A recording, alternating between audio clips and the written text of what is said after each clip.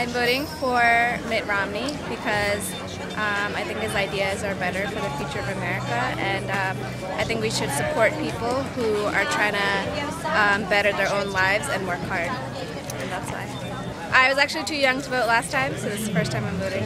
And what issues are important to you? Um, healthcare, as a physician, healthcare is one of the top priorities. Um, as a student, the student debt crisis is another one. Um, and just supporting small businesses and um, also separation of business and government so that businesses can flourish.